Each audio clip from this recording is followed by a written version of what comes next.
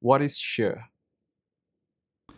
Well, so far, all we've considered in a reinforced concrete beam is how it might fail if it fails in bending. In other words, nice and ductile, and we have a nice bending failure.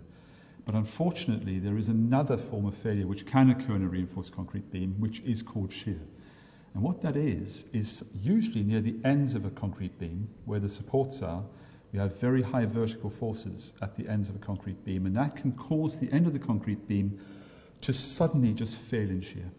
So let's have a look now at this, this concrete beam, which is being loaded to ensure that we have a shear failure.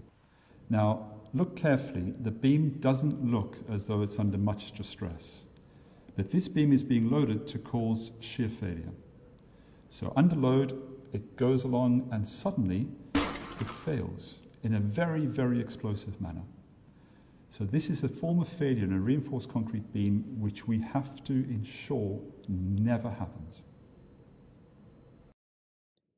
Can concrete resist shear? Well, yes, to some extent.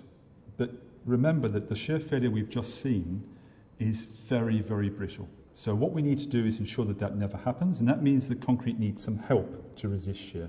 So what is that help? Well, remember that the, the shear failure occurs along an inclined plane, so that two pieces of concrete move apart like that, which means we need vertical reinforcement to prevent that from happening. Well, this is what reinforcement looks like on a site. We have the vertical reinforcement in place which resists our shear, and in fact it looks a bit like this, it looks like a shear stirrup. And we have the longitudinal reinforcement in place which resists bending. Together, this thing is called a reinforcement cage, and you'll see it on any construction site. The beauty of this sort of um, reinforcement cage is that it resists shear failure with the vertical stirrups. The longitudinal bars resist bending, so we will not fail in, in bending. But if it were ever to be overloaded, and it did fail in bending, then that's okay, because it would fail in a gradual manner because we've chosen the amount of longitudinal reinforcement carefully.